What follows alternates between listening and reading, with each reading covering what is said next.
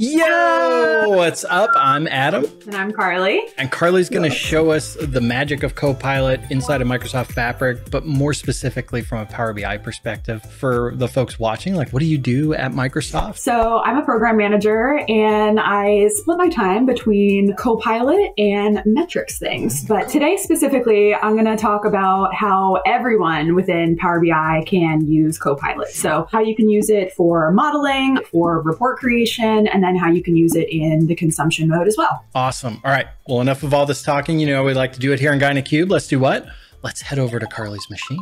All right, so you can see here, I am already in my modeling view, and you may have noticed, looks a little bit fancier here. So I have my model explorer up in this new build. So you can see I have my tables here and I have my model over here. Here I have all my measures co-located here. So one thing that we have done here is just given Copilot the ability to write measure descriptions for you. So I'm just gonna click on, let's say this measure right here, product sales top three, and I'm gonna go ahead and click create with Copilot in this description area. And and Copilot is actually just going to go ahead and write this description for me. The product sales top three measure calculates the net sales for the top three products. If a product is not in the top three, measure returns zero. Okay, I know my model pretty well. That's looking really accurate. So I'm going to go ahead and just keep that. So this is really good. It's going to make the report creator's life a lot easier. This is just a really good documentation task. One yep. thing that I'll say is I can neither confirm nor deny that the next do is bulk measure descriptions for all of this at one time. So this is looking really good, but now I want to go and do some more tweaking and I want to write some DAX for my model here. Oh. I'm a little bit better at SQL myself, but I want to get into DAX. So okay. I'm going to like, we like SQL also. That's fine. We don't discriminate here. We like SQL, we like, like DAX, we like it all. So I'm going to have Copilot help me learn okay. a little bit about DAX. So I have my editor here. The first thing that I see in my DAX query view with Copilot is it gives me a, a nice little query here here as an example. And if I don't exactly know what's going on here, I can just say run and it plops a table down so I can have that as an example to just look that's, at. That's beautiful DAX, mm-hmm. by the way. Kudos to our engineering team and to our design team who made this look super, super simple when it is in fact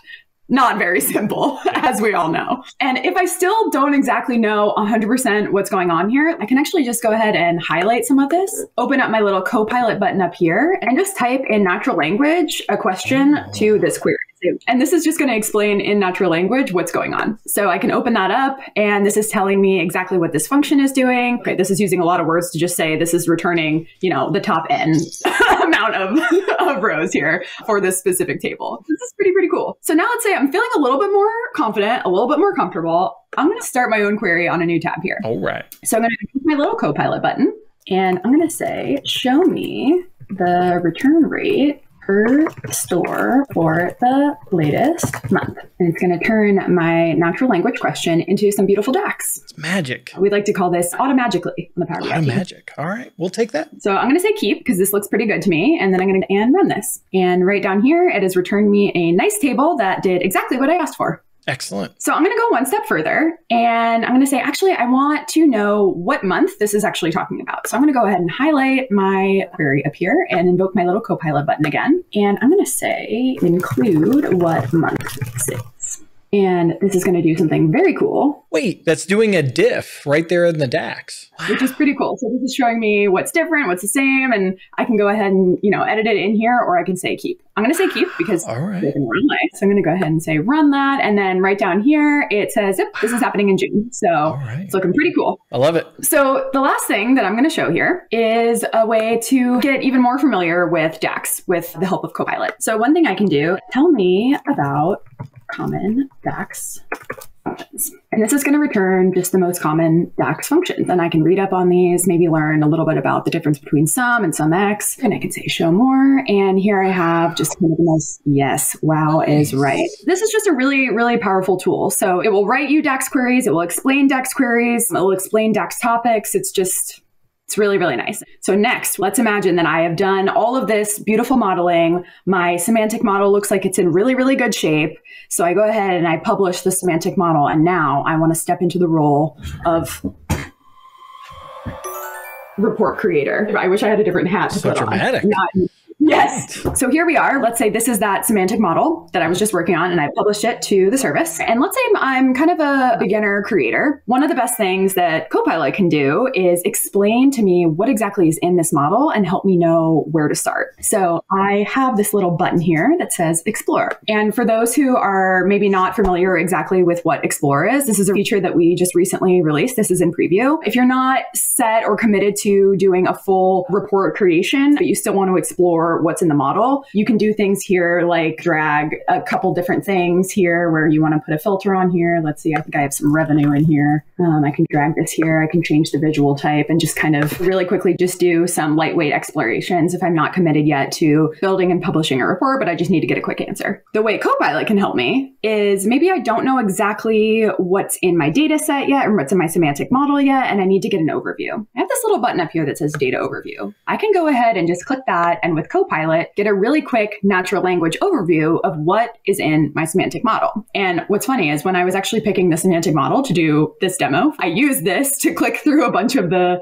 demos that I like commonly do. And I was like, which one should I use for this? Anyway, back to our scenario. I'm like, yes, this is the one that I need. I start exploring my data, but this visual is not really doing what I want it to. I think I need a little bit more help. So I'm going to abandon my exploration here. I'm not going to save this. And I'm actually going to just open this in a blank report. And right off the bat, I'm just going to click my Copilot button up here. And immediately the Copilot pane is going to open. And I'm going to say, suggest content for this report. So this Copilot is the one that came out first. And like, this is the one I'm familiar with. So you're a fan is what I'm hearing. Yeah. Yeah. yeah. What this is going to do is take a look at what's in your semantic model and it's going to generate essentially an outline for your report that says, hey, based on your semantic model, here are some pages that we think is going to be the most useful for you as a creator to build, for a consumer to view. These are the insights that are going to be the most useful to glean. So you can take a look through these, you can expand all of these and kind of read through them. It gives you a title and it tells you kind of what, what the content is going to be for that page. Let's take a look at this first one. Sales performance analysis, create a page to analyze the performance of sales by region, product, and industry. I know from my model creation that region actually is better as territory in this model, I believe. But otherwise, this is looking pretty good. So I'm going to go ahead and see how this does if I just click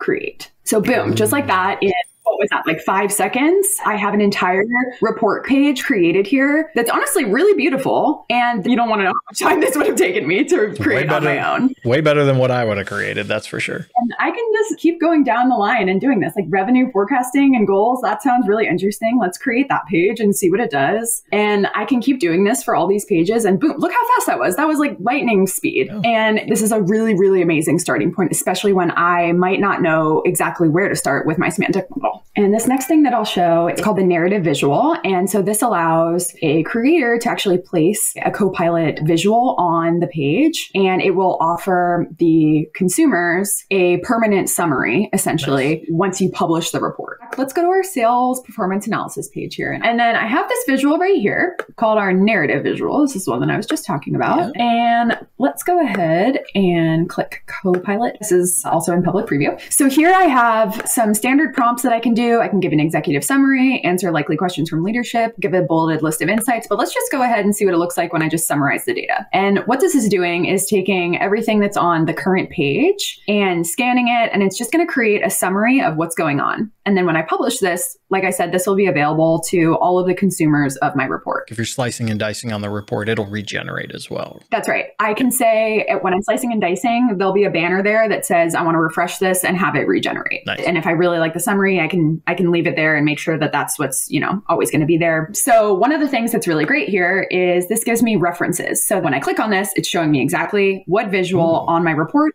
this is coming from. And it's showing you, hey, we didn't just pull this information from the ether. This is rooted in your data. This is rooted in your report. So you can trust this. So one of the other things that we can do here is summarize over the entire report. Or if you want, you know, for some reason, some specific visuals to not be included, you can do that as well. So a lot of control here as as the author. For example, if I wanted this first page here to answer likely questions from leadership, but for some reason I know my leadership doesn't care this month about the sales pipeline for some reason, then I can create this visual summary here, not taking into account the visuals on that last page. And then when I publish this report, they'll get the questions and the answers from just those two pages. And I can click on those and zooms me to the next page and see where they came from. That's interesting. It can be aware of multiple pages. So it's good for like a like a summary page also. One of the kind of main use cases that we see for this visual is people putting it on that main page as kind of an overview page that says, here are the key insights across this entire report. Like here are the key takeaways and it hmm. summarizes every single page on the report. Okay, so let's imagine I have tweaked this report exactly how I want it. I've created all the pages that I want, and I go ahead and I publish it. So now, you know what I'm about to do. I am now a new person. I have published this report into an app, and now I, as a consumer, have landed on this beautifully created app, all of which is created by Copilot. And I'm clicking through here and I'm thinking, hmm, I just started here and I am very overwhelmed by all this information. I wish I just had some kind of tool that could help me get the main insights from this page. Gosh. Copilot. Oh my gosh, you're so right. I wish Copilot worked over apps though. Oh, wait right it will soon. so here it is. Right now it works over reports. Very soon, in the next couple of weeks, months, it will work over apps as well. So as a consumer, I can come into my report and I can just say, I want to just summarize the visuals that are on this page and get insights here. So just clicking that button and boom, again, lightning fast, very nice. cool. And again, those visual references are coming with it. So I can click on that and see exactly where this information is coming from. So as I read through this, I'm seeing this last sentence here. It says the region regions with the highest number of opportunities are US South, US West, and US Midwest. And I'm thinking that's kind of all of them except for the Northeast. Like, what's going on in the Northeast? So let's just double check this and say, what is the region with the lowest opportunity? So you can summarize across your report, you can ask for insights, and you can also ask questions about your data. So it's telling me, yep, this is the opportunity and it is coming from the Northeast. So let's go down here. So maybe I'll just say something like, tell me insights from this page. And this is very cool because in this Copilot pane, I don't lose the history of yeah. what I've been talking back and forth to Copilot about. So when I go to another report, I maintain that history and can go back in the conversation and reference things, which is pretty cool. Now I might want to say like, can you simplify these insights into bullet points? It's going to think about this for a second and then it should give me some nice clean bullet points. So the last thing that I'll do here, I do have a page down here that focuses on that Northeast region. Again, I maintained that history so I can scroll up if I need to. So let's see if we can do something for that region. And so for me as the consumer, I'm hoping that this kind of just tells me in this region that I know is not doing well, what are the individual stores that are kind of my high performers and my low performers? And then I can take that information, kind of analyze it against the other reports that I have here and see if there's any insights I can draw with what products are maybe contributing to that and things like that. I think I've demonstrated most of the capabilities here. Feel free to play around with this. This is in public preview now, so please go check this out. The app is not in public preview. That is coming soon. And the oh. DAX Query View Copilot should be coming to public preview within the next couple weeks. Love it. All right. So so let us know down in the comments. What do you think? First off, is this like insane amazing? Because I think it is. Maybe there's something else that you're interested in that maybe is not being covered yet. Go to ideas.fabric.microsoft.com and get it in there as well. Thank you so much for joining us, Carly. And thank you everyone for watching as always. And we will see you in the next video.